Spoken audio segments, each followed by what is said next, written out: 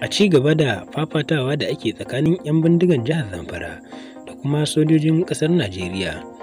A wannan satin ma dai an samu wata nasara sai dai kuma bbc hausa ta rawaito cewa an kashe akalla sojojin guda goma sha ɗaya. A cikin wannan fafatawa da ake dai ana yi ne ba tare da sanin abubuwan da yake faruwa ba musamman ta hanyar sadarwa. Gwamnan jihar zamfaran wato matawalle ya sa an yanke sabis ɗin wuraren da 'yan bindigan suka yi tsamari kuma ya yi hakan ne domin ya kawo ƙarshen 'yan bindigar. Sai dai kuma mutanen jihar zamfara sun yi korafin cewa yanke sabis ɗin da aka yi bai hana 'yan bindigar kai hare-hare ba.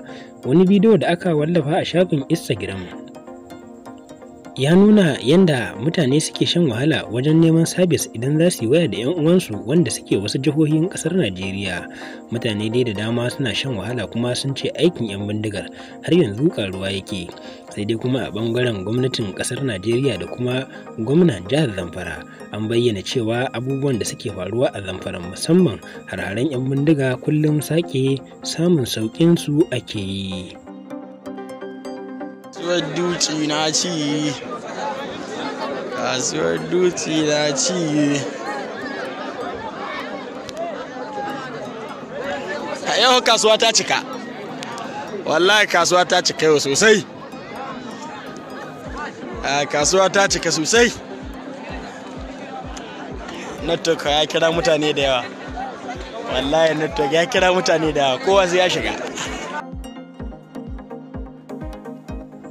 Wannan bidiyo dai ya nuna yadda mutane suke shan wahala ne a wajen neman sabis kuma sai sun yi doguwar tafiya zuwa cikin jeji sannan kuma sun hau wani dutse.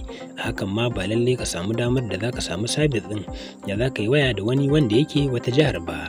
Mutane dai suna ta shan fama kuma suna ta kai koke-kokensu a wajen gwamnati wajen rufe sabis din da aka yi. Sai dai a wata hira da aka yi da gwamna matawalle ya bayyana cewa an kusan buɗe sabis din jihar zamfaran gaba ɗaya amma kuma bai faɗi rana ba. A wani ɓangare dai wasu mutanen suna ganin cewa yanke sabis ɗin da aka yi a jihar zamfaran kamar an ba wa 'yan bindigar wata dama ne kuma du ta kaiwa wasu hararen. Domin kuwa ko a kwanaki sai da wasu 'yan bindiga suka shiga yankin da daddare a jirgi mai saukar ungulu kuma suka kashe na kashewa suka saci abin da suke so suka fita kuma ba abin da ya faru irin waɗannan matsaloli dai ana ganin cewa wanda ma a dawo da sabis ɗin mutane su ci gaba da rayuwa kamar yadda ake in yi so a ci gaba da addu'a Allah ya kawo ƙarshen wannan masifa da muke ciki.